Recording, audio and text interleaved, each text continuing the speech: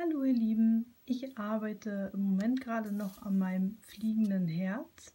Und ihr könnt sehen, es fehlt nicht mehr viel, es fehlen nur noch die restlichen ähm, Flügel hier und ein bisschen von diesem Flügel und natürlich die Highlights noch zum Schluss. Ich wollte euch heute ganz gerne mal zeigen, wie ich ähm, die Schattierung und äh, ja, die Schattierung in diesen Flügelteilen gesetzt habe, mit welchen Stiften und ähm, das Bild ist aus diesem Buch von Hannah Carlson. Und dann legen wir einfach mal los. Ich stelle euch mal hier so an die Seite. So.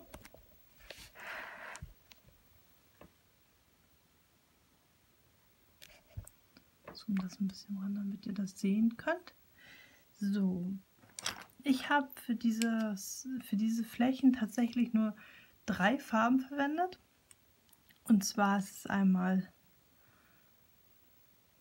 Black, von den Prisma Colors übrigens, ähm, Cool Gray 50%.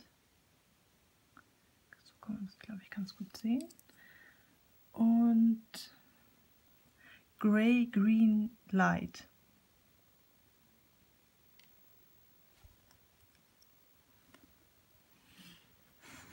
Und ich finde diese Farbkombination ähm, irgendwie extrem schön, gerade mit diesem ganz, ganz hauchzarten Grün, Grau verblendet. Ich finde tatsächlich, diese Farbkombi könnte man auch für ähm, Metall, metallische Effekte nutzen, wie zum Beispiel jetzt mh, hm, die Scheide eines, eines Schwertes, fällt mir da jetzt spontan ein. Oder vielleicht auch mit ein bisschen helleren Grau noch gemischt, ähm, als, als ähm, Metall, irgendwie als Silber oder so. Ich fange einfach mal an und zwar geht es los, dass ich hier ähm, direkt mit dem Schwarz beginne und auch mit relativ viel Druck starte und dann zur Spitze hin leichter auslaufe. Also ich werde immer leichter und zarter, je weiter ich nach oben komme, also an die Spitze komme. Und dann nehme ich direkt mein 50% Cool Gray, gehe da schön drüber, auch wieder mit viel Druck und zur Spitze hin wieder leichter auslaufend.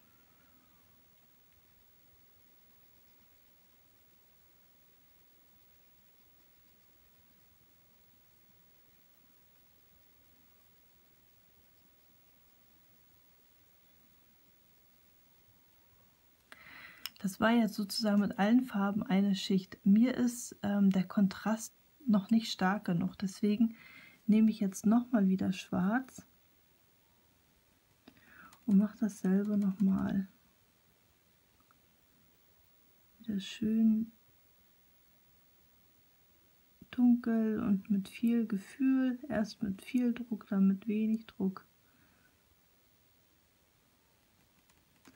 Damit das schön ähm, sanfte Übergänge gibt.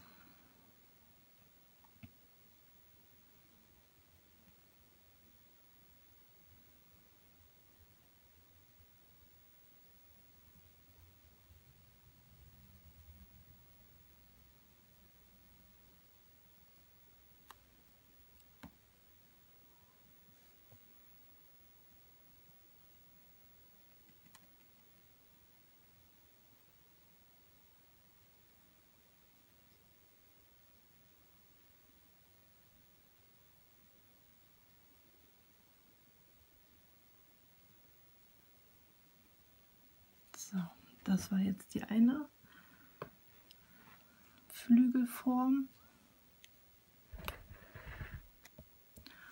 Und jetzt mache ich mich hier noch einmal an diese Form. Und hier gilt auch wieder schön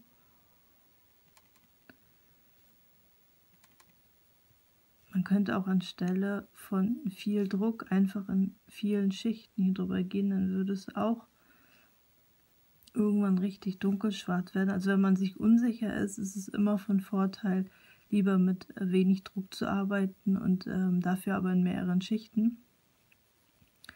Aber ich habe ja jetzt, wie ihr gesehen habt, schon einiges an Übung, was diese Flügel betrifft.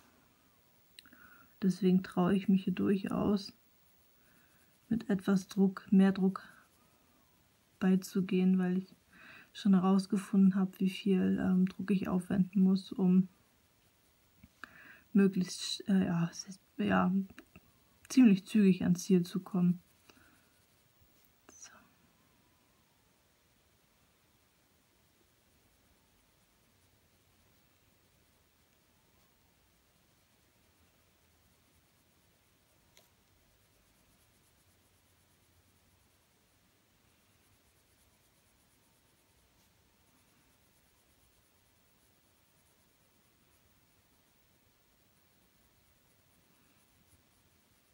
Hier oben an der Spitze sieht man, dass ich da ähm, drüber gemalt habe mit dem ähm, ähm, Water Watercolor Background. Ähm, das ist aber gar nicht weiter schlimm, weil dieses ähm, Light Gray Green ähm, so eine tolle cremige Konsistenz hat, dass man das eigentlich fast gar nicht mehr wahrnimmt, wenn man aus der Entfernung drüber guckt, also auf das Bild guckt und es äh, sozusagen abdeckt.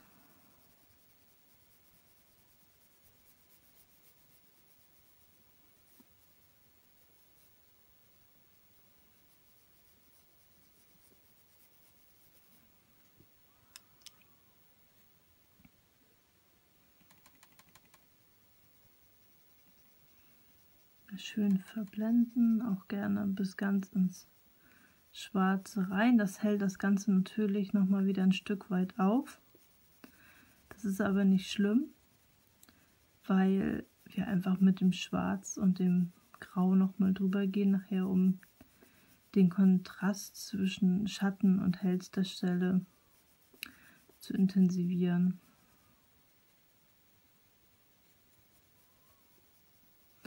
Aber man sieht das richtig schön, wenn man hier mit dem hellen ähm, Grey-Green rübergeht, dann schließen sich so die Poren. Also es ist nachher am Ende überhaupt nichts mehr von dem Papier zu erkennen und ich liebe das total. Diese, diese Farbdichte, obwohl es eigentlich so eine helle Farbe ist.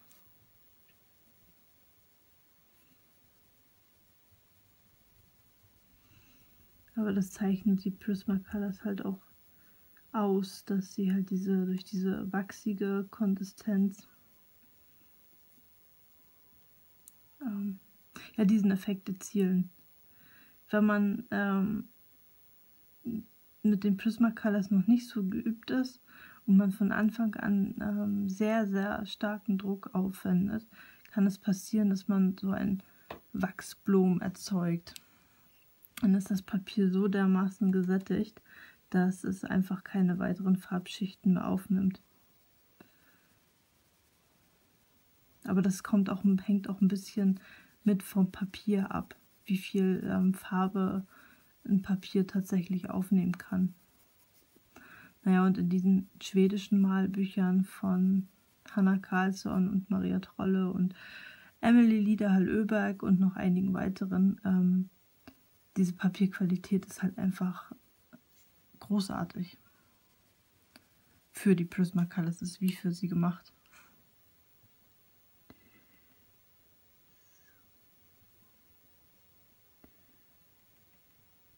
Das war dann jetzt hier auch meine letzte Ausbesserung. Oder ist dann jetzt hier auch meine letzte Ausbesserung?